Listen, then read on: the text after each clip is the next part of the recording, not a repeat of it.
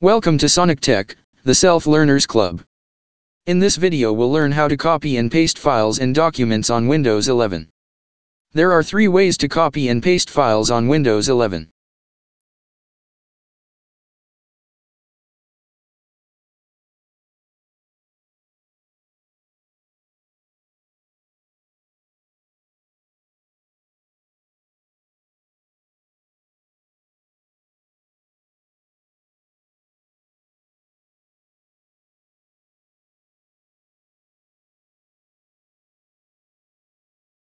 The first way, you can use the right-click menu to copy and paste the documents.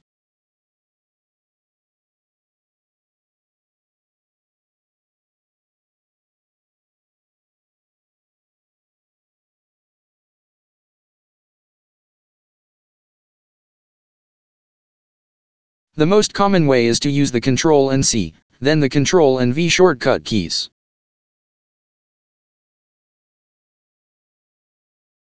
The final way, it's to hold and drag the wanted file to the desired folder.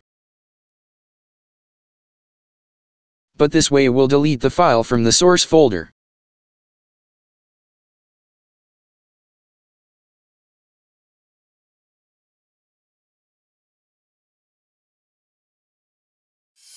you